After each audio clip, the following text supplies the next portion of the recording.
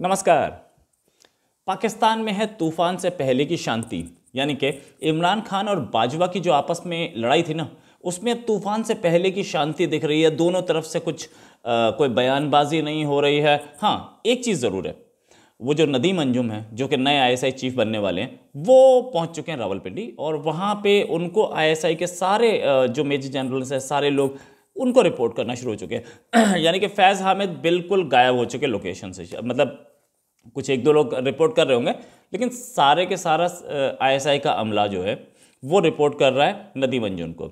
साथ में, एक प्रोग्राम हुआ अभी दो तीन दिन पहले, उसमें पहुँचे जनरल बाजवा जनरल बाजवा से किसी जर्नलिस्ट ने पूछा कि आप अपने दोस्त इमरान खान को नहीं लाए?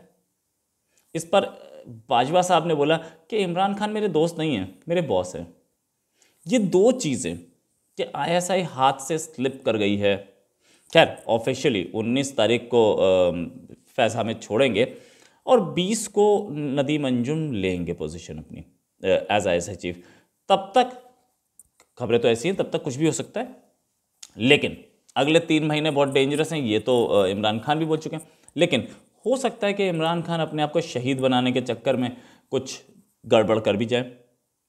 खबर ये भी है कि शहबाज शरीफ दिन में तो इस्लामाबाद में रहते हैं, लेकिन रात में अपनी कार उठा के पहुँच जाते हैं रावलपिंडी। इस्लामाबाद रावलपिंडी आमने सामने बहुत दूर नहीं है, बीच में एक रोड है बस। रावलपिंडी और जहाँ पे आर्मी हेडक्वार्टर है, वहाँ पे आर्मी चीफ भी रहते हैं, वहाँ सब रहते हैं। और वहाँ जा कर के रात में देर रात तक मीटिंग्स करते हैं। ये बातें सारी की सारी तब तक पता लग रही है कि कौन किससे मीटिंग कर रहे हैं। तब तक ही पता लग रही है इमरान खान को जब तक फैज़ अहमद वहाँ बैठे जिस दिन फैज़ अहमद गायब हुए तो ये इंटेलिजेंस रिपोर्ट्स उन्हें मिलनी बंद हो जाएँगी। और उसके बाद उनका तख्ता पलट बहुत आसान है। इनफैक्ट ये नदीम अंजुम जो हैं, इनका इनका ये जो आई चीफ का कार्यकाल है, वो 20 तारीख को शुरू हो जाएगा। उसके बाद तो उसके बाद तो ये बिल्कुल क्लियर है कि ऑपोजिशन के लोग, शाहबाज शरीफ हो या कोई और हो, वो वो आर्मी चीफ से बेधड़क मिल पाएँगे और खबर इमरान को, इमरान खान को कानों कान नहीं पता लग पाएगी। ऑपोजिशन इतनी हावी हो गई है। शाहबाज शरीफ इतने हावी हो गए मतलब इत, इतना नेटवर्क बना लिया है आ, आर्मी ने पीडीएम को बोल दिया कहते कहते हैं बाजवा साहब के कहने पे ही पीडीएम अपनी लॉन्ग मार्च कर रही है और इससे इससे पहले यही बोला जा रहा है कि आ, वो जो तहरीक लब्बैक आया था वो भी बाजवा के कहने पे ही आया था। अब इसकी कोई इंडिपेंडेंट कन्फर्मेशन तो नहीं हो सकती। लेकिन ऑपोजिशन इतनी हावी हो गई है कि पार्लियामेंट में उनकी नेशनल असेंबली बोलते हैं उसमें इमरान खान के कोलिशन की मेजॉरिटी होते हुए भी दो बिल्स को वापस लेना पड़ा, क्योंकि मेजॉरिटी नहीं थी उनके हाथ में मतलब बिल गिर रहे थे। अब ऐसा क्यों हुआ?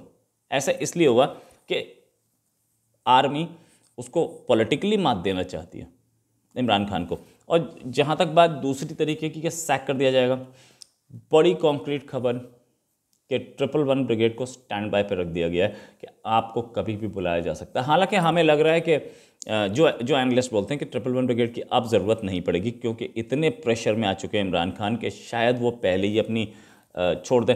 लेकिन क्या पता, किसी टाइम पे दिमाग घूमा और उन्होंने सैक करने का ऑर्डर निकाल दिया तो इमरान खान को अरेस्ट करने के सिवा कोई और चांस नहीं रह जाएगा। ट्रिपल वन ब्रिगेड से जितने भी आला अधिकारी हैं मतलब जितने भी जितने भी इंपॉर्टेंट लोग हैं। उनकी छुट्टी वुट्टी कैंसिल हो गई है। वो उनको बोल दिया छुट्टी पे मत जाना। आप स्टैंड बाय पे रहिए। हो सकता है रात को दो बजे भी आपको बोलना पड़े। अपना फ़ोन वगैरह ऑन रखना और इंपॉर्टेंट चीज़ों पे नज़र रखना और हमारे, हम आपसे टच में रहेंगे हमेशा। तो वो वो ट्रिपल वन ब्रिगेड हमेशा टच में है। साथ में जो पीटीआई गवर्नमेंट है, उसको जो सपोर्ट करने वाली दो पार्टी थी एमक्यूएम और पीएमएलक्यू ये दोनों की दोनों अब दूसरे ऑप्शंस तलाश रही हैं, ये भी गवर्नमेंट के साथ नहीं दिख रही हैं। तो जो बात ये इसमें एक चीज़ और थी। इसमें एक चीज़ और ये थी कि पिछली बार इमरान खान आए क्यों थे? क्योंकि उनकी आर्मी की ना जरदारी से बन रही थी और ना नवाज़ शरीफ से बन रही थी तो एक नया आदमी ढूंढा जा रहा था। और नया आदमी ऐसा आया कि ठीक है, बड़ा बहुत कूल था। इस नए आदमी ने आकर के अपने जो से लाए थे, उन्हीं को धोखा दे दिया। अब अब क्या किया जाए? सारे के सारे शरीफ परिवार इन सब पे केस चला दिए गए ठीक है? अब जो हमें दिख रहा है, आर्मी जो वापस सेटिंग बना रही है शरीफ परिवार से, चाहे वो नवाज़ शरीफ के भाई शहबाज शरीफ, वो मीटिंग्स कर रहे हो या नवाज़ शरीफ को, ऐसी भी खबर है। कि नवाज़ शरीफ को जल्दी ही उसके ऊपर लगा हुआ बैन हटा दिया जाएगा कि वो केस लड़ पाए वो वो वो, इलेक्शन लड़ पाए। इलेक्शन लड़ने पे बैन लगाया था ना? ये तो सब आर्मी के कहने पे होता और आर्मी कर लिया। तो वो जल्दी हट भी जाएगा। और कुछ ऐसे लोगों ने अभी हाल में स्टेटमेंट्स दिए हैं जिन पर बैन लगा था इमरान खान के टेन्योर पे। तो उन्होंने ये स्टेटमेंट दिया कि अगला इलेक्शन मैं ही लड़ूँगा। इसका मतलब ये कि उन्हें उन्हें कंफर्म्ड खबर है उनको कहीं से आर्मी से खबर मिल चुकी है कि उनके ऊपर से बैन हट जाएगा। अच्छा अब जहाँ तक बात नवाज़ शरीफ की कॉन्फिडेंस नवाज़ शरीफ का बहुत हाई है, क्योंकि डायरेक्ट टच में है वो आर्मी चीफ से उनके उनके भाई, और नवाज़ शरीफ वहाँ से सुन रहे हैं कि वो वापस लौटने की तैयारी कर रहे हैं, सुन रहे हैं कि वो इलेक्शन लड़ने की भी तैयारी कर रहे हैं, क्योंकि अभी सिचुएशन इतनी ख़राब है पाकिस्तान की इकोनॉमी की और कंट्री की खुद एज एज अ होल इस समय कोई लेने के लिए तैयार नहीं है।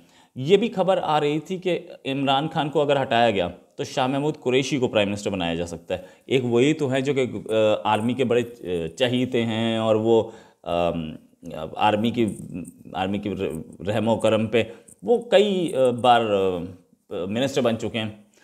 लेकिन शाह महमूद कुरैशी को बनाना ऑप्शन तब होगा जब इमरान खान सैक करें, बाजवा को और बाजवा उसे अरेस्ट करे। अभी तो नहीं दिख रहा है। हाँ एक चीज़ और कि इन जनाब ने क्या नाम है इनका, शेख राशिद, वो भी हाल में बोले कि सब कुछ ख़त्म हो चुका है, सब कुछ बढ़िया है। हाँ और ये स्टेटमेंट कि प्राइम मिनिस्टर मेरे बॉस हैं और दोस्त नहीं। ये स्टेटमेंट भी ये दिखाने की कोशिश है कि सब कुछ सही है सतह पे। लेकिन नीचे अंडर डॉग्स कितने चल रहे हैं? नीचे नीचे अंडर करेंट्स कितने चल रहे हैं? रात में शहबाज शरीफ का रावलपिंडी जाना पीडीएम का लॉन्ग मार्च एक आना और उसके बाद टीएलपी के सामने घुटने टेकना। ये सब बताता है कि इमरान खान को पहले बदनाम किया जा रहा है। बदनाम मीन्स उसको इमरान खान को उस लेवल पे लाया जा रहा है जहाँ वो अपने लोगों को शक्ल ना दिखा पाए और उसके बाद इमरान खान को सैक करने की तैयारी इमरान खान को हटाने की तैयारी। एनीवेज ये सारी चीज़ें तो बहुत आ, बहुत क्लियर हैं कि क्या हो सकता है। अब स्पेक्यूलेशंस पे बात करते हैं कि स्पेक्यूलेशंस क्या चल रही हैं। या बोलें कि इमरान खान की साइड पे क्या चल रहा है। ये कहानी तो दूसरी इमरान खान की साइड पे क्या चल रहा है इमरान खान अपनी कुछ लोगों से ज़रूर मीटिंग्स कर रहे हैं। लेकिन पब्लिक में एक अब उनको उनको बोला गया था वो पहुँचे थे सुप्रीम कोर्ट में तो उनको सुप्रीम कोर्ट ने बोला था कि फॉर्मर ये आर्मी चीफ पर आप केस दर्ज करिए मुकदमा चलाइए। किस केस में? वो जो पेशावर स्कूल अटैक था। क्यों? वो इसलिए बोला गया था कि पेशावर स्कूल अटैक की जो जो ज, ज, जिस ऑर्गेनाइजेशन ने या जिस आतंकी संगठन ने वो कराया था वो थी टीटीपी तरीके तालिबान पाकिस्तान। उससे ये बातचीत कर रहे थे। इन्होंने बातचीत पे इनको इनको हड़काया सुप्रीम कोर्ट ने और उन्होंने बोला कि उनके पेरेंट्स, बच्चों के पेरेंट्स डिमांड कर रहे हैं कि फॉर्मर आर्मी चीफ के ऊपर केस चलाया जाए। तो वो सुन के आ गए और बाद में उनसे पूछा गया कि फॉर्मर आर्मी चीफ पे आप केस चलाएँगे? सिर घुमाया नो और निकल गए। मतलब मतलब ये कि वो आर, फॉर्मर आर्मी चीफ पे एक्शन नहीं लेना चाह रहे तो करंट पे क्या लेंगे? एनीवेज इमरान खान को एक चीज़ और पता है कि अभी मुझे हटाना बहुत मुश्किल है। तो देखते हैं, उन्नीस तारीख तक पता लग रहा है कि कुछ हो सकता है। हो सकता है कि उन्नीस तारीख बहुत आराम से निकल जाए और इमरान खान उसके बाद, लेकिन लेकिन उसके बाद शिकंजा इमरान खान पे बहुत टाइट कस जाएगा। इसमें कोई शक नहीं, क्योंकि इमरान खान के जो मिनिस्टर्स हैं, वो भी आर्मी के लिए लॉयल्टी ज़्यादा दिखाते हैं और इमरान खान के लिए कम। इसी के साथ एक और खबर के साथ फिर हाजिर होंगे। नमस्कार जय हिंद।